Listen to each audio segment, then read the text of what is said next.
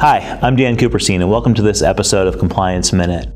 On November 18, 2016, the IRS released Notice 2016 70, which explains that the deadline for furnishing the 2016 Forms 1095C and 1095B to employees has been delayed by one month. Specifically, the deadline was extended from January 31st of 2017 to March 2nd of 2017. And while the furnishing deadline was extended, the filing deadline was not extended. Uh, the filing deadline will remain as February 28th of 2017 if not filing electronically, or March 31st of 2017 if filing electronically.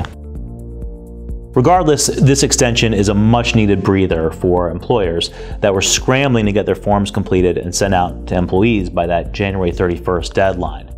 Additionally, the notice had some other good news in it as well. Um, it extends the good faith penalty relief from 2015 to 2016. The good faith rule provides relief from penalties for reporting entities that can show that they made good faith, good faith efforts to comply uh, with the information reporting requirements.